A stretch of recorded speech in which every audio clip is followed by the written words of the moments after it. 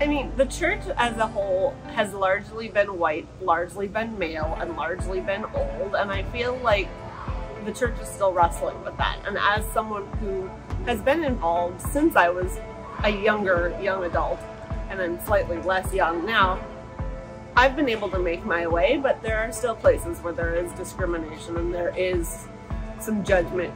But overall, I've found sort of my tribe of people who support me, who encourage me, and I've become a church dork anyway. And, you know, women are getting more visible thanks to the leadership of our President of the House of Deputies, and I'm hopeful that it, will continue.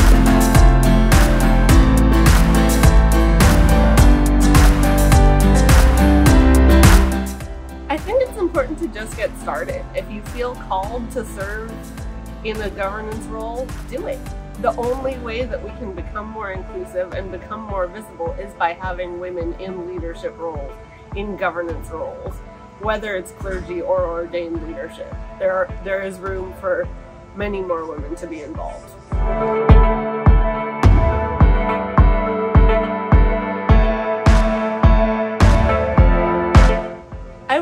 My younger self it's gonna be worth it.